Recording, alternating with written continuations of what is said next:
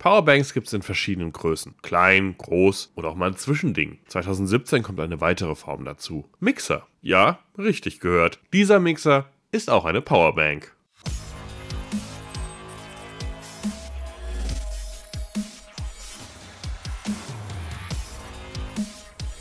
Die Idee ist eigentlich gar nicht mal so dumm. Mixer sind an sich an die Küche gebunden, da für den Betrieb eine Verbindung mit der Steckdose nötig ist.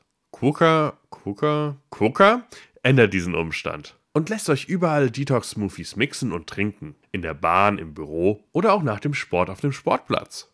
Damit es losgehen kann, muss der Mixer erstmal vollständig aufgeladen werden. Aufgrund seiner Größe passt gerade mal genug Obst für einen Smoothie in das Innere. Wer also gern mal in der Pause zwei Säfte wegsnackt, darf gleich zweimal hintereinander mixen. Die Bedienung ist dafür kinderleicht. Man öffnet den Deckel und füllt das gewünschte Obst oder Flüssigkeiten wie zum Beispiel Milch ein.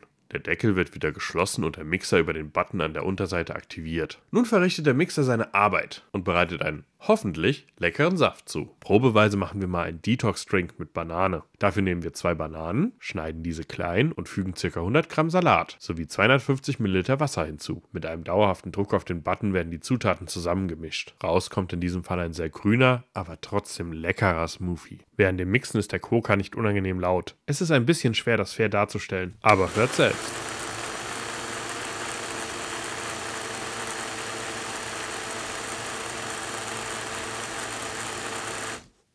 Selbst im Fitnessstudio sollte das niemand nerven.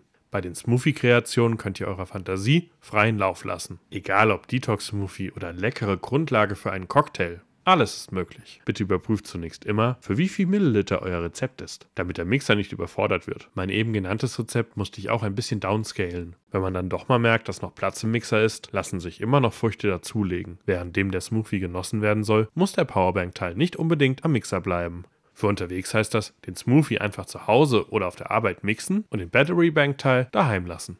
Bevor ihr den Mixer in Einzelteile zerlegt und alles komplett reinigt, könnt ihr den Behälter vorab mit Wasser füllen und dieses mixen lassen. Nach ein, zwei Mal ist das Gröbste bereits entfernt. Gerade im Zusammenhang mit dieser auch von Quokka vorgeschlagenen Reinigung ist es eigentlich ein bisschen ärgerlich, dass die USB-Ports nicht durch Schutzplastik oder ähnliches geschützt werden. Übrigens, den Deckel dabei wirklich gut zumachen, sonst gibt es eine kleine Sauerei in der Küche. Wie eingangs erwähnt, befindet sich im Inneren des Mixers eine 4000 mAh Powerbank. Die Powerbank lässt sich über USB laden. In Frage kommt hierfür zum Beispiel euer Smartphone-Ladegerät oder der PC. Quick Charge-Technologien sind natürlich nicht mit an Bord.